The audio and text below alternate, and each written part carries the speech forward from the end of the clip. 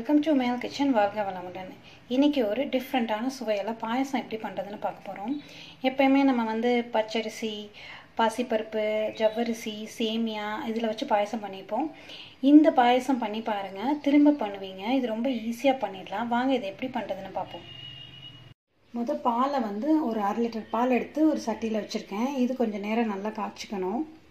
இப்போ பால் நல்லா பொங்கி வருது.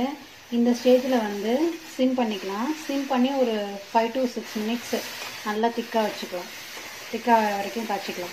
இப்போ பால் நல்லா சிம்மில் இருக்குது இப்போ அதுக்குள்ளேயும் வந்து ஒரு பேனில் வந்து ஒரு டேபிள் ஸ்பூன் நெய் சேர்த்துக்கலாம்.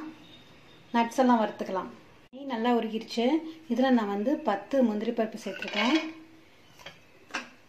பத்து கருப்பு திராட்சை. கருப்பு திராட்சை கிடைக்காட்டியும் நீங்கள் வந்து ப்ரௌன் வச்சுக்கலாம். நட்ஸ் எல்லாம் இதுதான் சேர்க்கணும்னு இல்லை. உங்களுக்கு என்ன விருப்பமாக இருக்கோ அதை போட்டுக்கலாம். இதை ஒரு நிமிஷம் நல்லா வறுத்துக்கலாம். யூஸ்வலாக நம்ம கிறிஸ்மஸ் அதாவது திராட்சை வாங்கும்போது வந்து ப்ரௌன் வாங்காமல் பிளாக் வாங்குங்க. அது ரொம்ப ஹெல்த்தியாக இருக்கும். அப்படி கிடைக்காட்டி ப்ரௌன் வாங்கிக்கலாம். இப்போ பாருங்கள் நல்லா வறுத்தாச்சு. இப்போ இதை ஆஃப் பண்ணிக்கலாம். ஆஃப் பண்ணி தனியாக எடுத்து வச்சுக்கலாம்.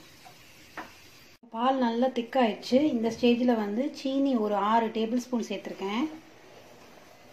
சீனி வந்து சுகர் வந்து உங்கள் டேஸ்ட்டுக்கு ஏற்ற மாதிரி சேர்த்துக்கோங்க. நான் அரை லிட்டர் பாலுக்கு இந்த டேபிள் ஸ்பூனால் ஆறு டேபிள் ஸ்பூன் சேர்த்துருக்கேன். இது ஒரு நிமிஷம் கரையட்டும்.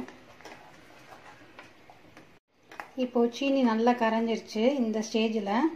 பன்னீர் வந்து இந்த கேரட் துருவத்தில் துருவி வச்சுருக்கேன். ஒரு ஃபிஃப்டி கிராம்ஸு அரை லிட்டர் பாலுக்கு ஒரு ஃபிஃப்டி கிராம்ஸ் பன்னீர் போதும்.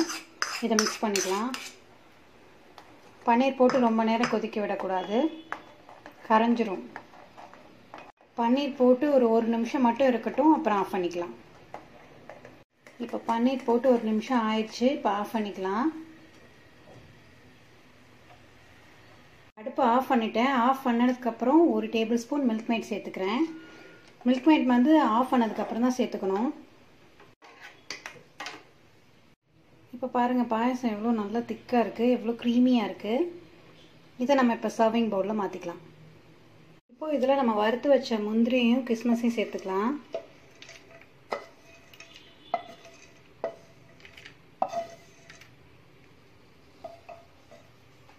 பார்க்கும்போது எவ்வளோ அருமையாக இருக்குது உடனே சாப்பிடணும் போல் இருக்குல்ல. இதே மாதிரி நீங்களும் ட்ரை பண்ணி என்ஜாய் பண்ணுங்கள் நாளைக்கு வேறு இன்ட்ரெஸ்டிங் ரெசிபிஸோடு சந்திக்கிறேன். வாழ்க வளமுடன்.